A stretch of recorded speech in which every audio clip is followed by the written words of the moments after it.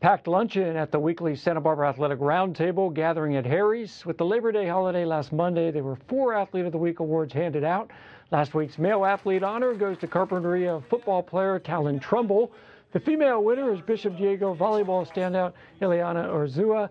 This week's male athlete of the week is Santa Barbara quarterback Abel Renteria, who threw four touchdown passes and ran for another score.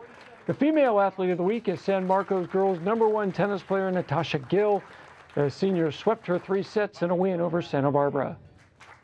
I've developed more confidence in myself for sure.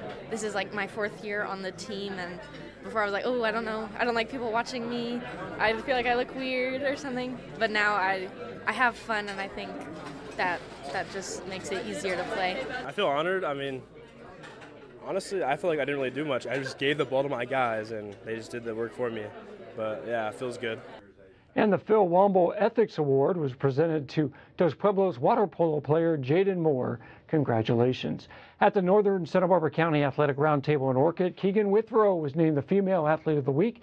The freshman tennis player helped lead Santa Ynez to a big Mountain League victory over Arroyo Grande.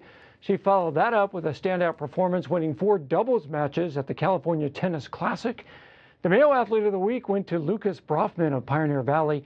The junior kicker came up clutch in the Panthers game last Friday. Taking on Dos Palos, Brofman booted the game-winning extra point late in the game. The PAT gave the Panthers a come-from-behind win, its first victory of the season.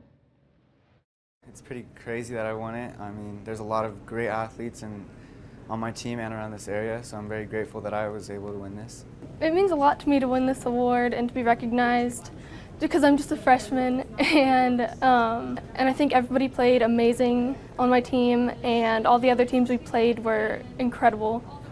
And this is the first round table award for both winners. Congratulations to both athletes.